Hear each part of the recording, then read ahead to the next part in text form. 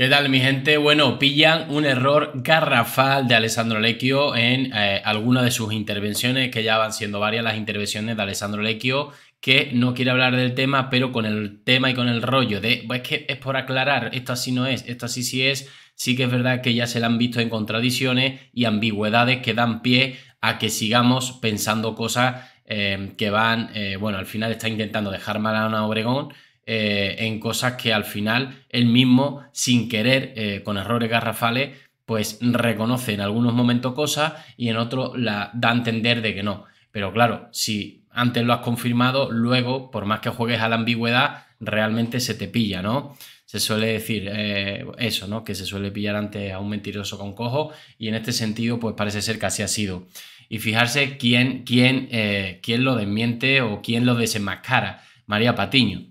Yo, la verdad, os digo lo mismo de siempre. Eh, tema Antonio David, tema Rocío Carrasco, mm, tema Ortega Cano y todas estas cosas, Amador Moedano, aquí María Patiño, perdió total la objetividad, María Patiño, Kiko Matamoro, Kiko Hernández, eh, bueno, todos, ¿no? Todos, ¿no? Un poco Kiko Matamoro, estuvo ahí un poquito, un poquito, fue un poquito el más legal, Gema López, pero quitando ellos, sí que es verdad que quitando todo, eso que, que digamos que sabían que era o estabais con Rocío o no estabais en plató, ahora empiezan un poquito, un poquito a volver a ser objetivos, ¿no? Empiezan a ser un poco objetivos, eh, ya que no están forzados ni obligados a que tengan un pensamiento único. Así que en este sentido, con el tema de Ana Obregón, pues cada uno más o menos creo que está diciendo lo que piensa. Es verdad que Jorge Javier políticamente está diciendo burradas porque eso es lo que piensa por política, que incluso ha llegado a decir en su canal de YouTube que no lo tiene muy claro lo de la gestación subrogada. O sea, fijarse, un día dice una cosa, otro día dice otra.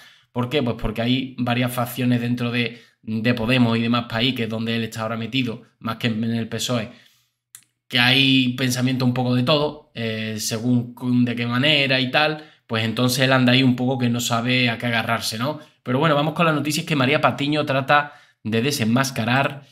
Eh, un segundito. María Patiño trata de desenmascarar a Alessandro Lecchio. Fuisteis juntos eh, a una notaría, ¿vale? La presentadora se ha mostrado muy dura con su amigo eh, desde Sálvame. Desde que se diera a conocer la noticia de que Ana Obregón había recurrido a un eh, proceso de gestación subrogada para, tratar el, em, para traer al mundo a Ana Sandra, la hija biológica de su hijo Alex Lecchio, y por ende a su nieta Alessandro Lecchio, ha optado por no manifestarse mucho al respecto. No mucho, pero lo ha hecho. No obstante, el tema es eh, habitual debate estos días en el programa de Ana Rosa, espacio en el que colabora y donde sus pocas palabras no son analizadas para tratar de adivinar su postura ante esta situación. Esta ambigüedad tiene a muchos de sus compañeros algo mosqueado como en el caso de María Patiño. Fijarse lo que os señalo en azul.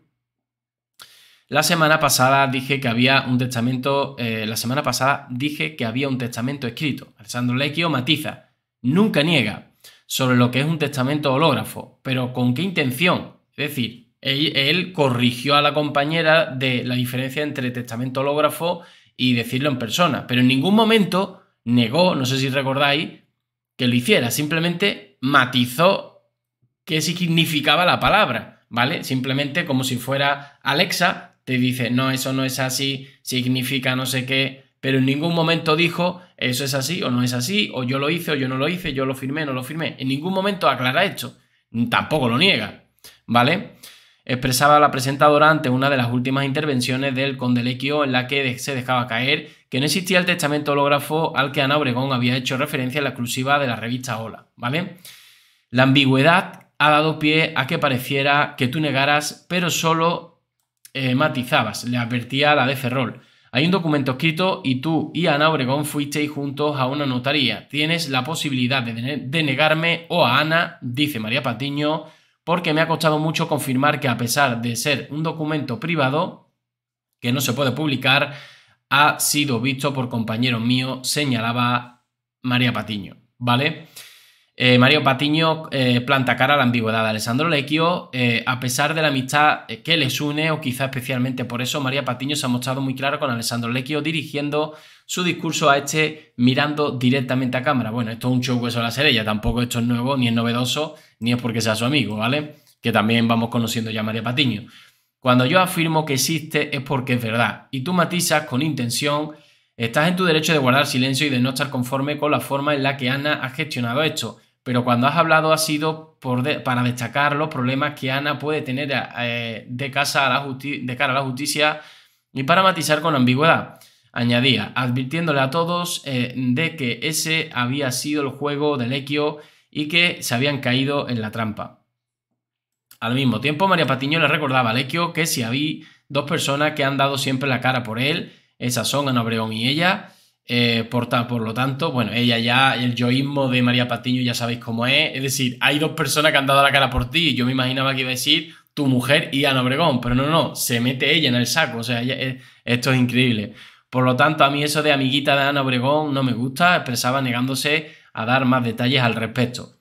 Bueno, mi gente, pues hasta aquí la noticia. Yo, sinceramente, ya sabéis que yo con María Patiño no comulgo. Sé que lo que ha hecho durante los últimos dos años es triste, lamentable y con una falta de, ética eh, y de profesionalidad eh, que para mí ya queda marcada. Eso no quita con que en esta ocasión, pues creo que Aleikio, pese a que yo lo he defendido mucho, de que se mantiene callado, de que tal que cual, sí que es verdad que me he ido dando cuenta de que ha habido cositas que, bueno, mm, ha ido aclarando pero esas aclaraciones han sido aclaraciones para malmeter realmente civilinamente contra Ana Obregón, eh, contra su entorno y contra que no le gusta las decisiones que ha tomado Ana Obregón y bueno, pues yo la suelto, ¿no? Y mientras él pues queda como que no ha hablado, realmente sí ha hablado, y él queda como que sigue siendo honesto porque sigue sin hablar, pero al final eh, no cumple su palabra, porque si tú te sientas en el programa de Ana Rosa el primer día que tú vas dice que lo sabes todo, pero que no vas a hablar nada. El segundo día que tú vas, el segundo día que tú vas,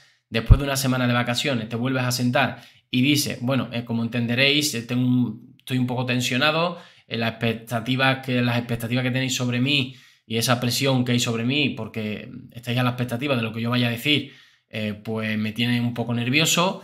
no voy a decir nada, que tal que cual, y al final, pues te vienes a dar cuenta que soltó luego algo al día siguiente otra vez algo más y poquito a poco, eh, queriendo corregir, lo único que ha hecho, queriendo corregir a los compañeros de él, colaboradores, lo, que, lo único que ha hecho es acrecentar más eh, el malestar en contra de Ana Obregón, eh, porque en teoría ella lo está haciendo todo mal. Ella lo está haciendo a su manera, o sea, es muy ambiguo porque dice que la entiende perfectamente, pero que me entendáis a mí mi postura de no querer hablar, yo la entiendo a ella perfectamente y hablamos mucho, pero realmente le está lanzando pullitas permanentemente de forma civilina y al final pues no está siendo legal. Entonces, si Ana Obregón está siendo legal contigo y no te están mencionando en ninguna de las revistas, te ha hecho mención alguna porque tú se lo has pedido privadamente, haz tú lo mismo y públicamente no hables de ella o no hagas alusión a cosas que te molestan indirectamente, porque al final no estás siendo honesto contigo mismo. Entonces, en un principio lo fuiste, pero poquito a poco sigues eh, aclarando cosas que tú lo dices aclarar, pero al final es eh, atacar a Ana Obregón. ¿Por qué? Pues porque no te están gustando cómo se están haciendo las cosas. Pero si tú has dicho públicamente que tú lo respetas, luego no vayas con la pullita, porque entonces te contradices a ti mismo, dejas de ser honesto y la confianza que, por ejemplo, en mi caso yo tenía un poco en ti en ese sentido, la verdad que se me, difumina cada vez más y al final no me extraña que incluso a María Patiño le tenga que dar yo la razón que ella me da coraje, que como, como ya sabéis, ¿no?